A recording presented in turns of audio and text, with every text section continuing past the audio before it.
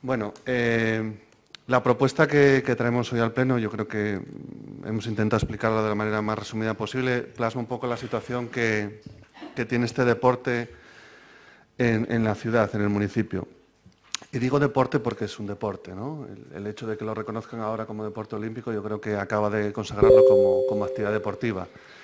Que creo que quizá es el único punto que ha generado que a lo mejor eh, las instalaciones de los skaters no estén adecuadamente mantenidas. Hay tres en Gijón, como citamos en, la, proposición, la de los pericones, que hacía más de 20 años creo, que se conformó con módulos que había por la ciudad repartidos, la del cerillero, que se hizo en 2005, que, es la que técnicamente está mejor resuelta referido a lo que son las calles y demás y la forma de, para utilizarla, y luego la gran obra que se hizo en, el, encima de Villa, ¿no? Es un entorno privilegiado, es un sitio magnífico, pero bueno, tiene muchas deficiencias que ahí citamos.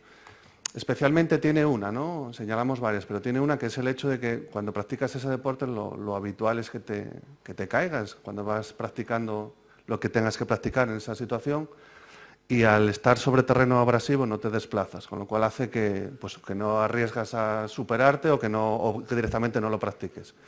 Por eso es muy importante, además de que se actúe, y esto quiero recargárselo al señor Martínez Salvador y a lo que venga, eh, como en otras infraestructuras, como en otras infraestructuras, mantenerlas. Es una instalación deportiva y debe mantenerse.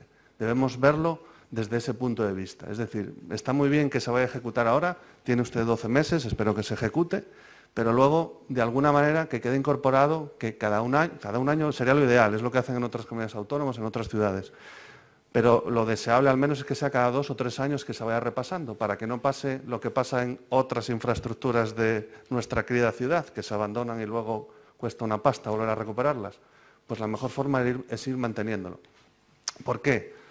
Y finalizo con esto, porque yo creo que estamos todos de acuerdo, seguramente de estas de las proposiciones en las que vayamos a estar todos de acuerdo, queremos que los skateparks sean para disfrutar de la gente que allí disfruta de ese deporte. Y para eso tienen que estar en perfecto estado de mantenimiento. Nada más, gracias.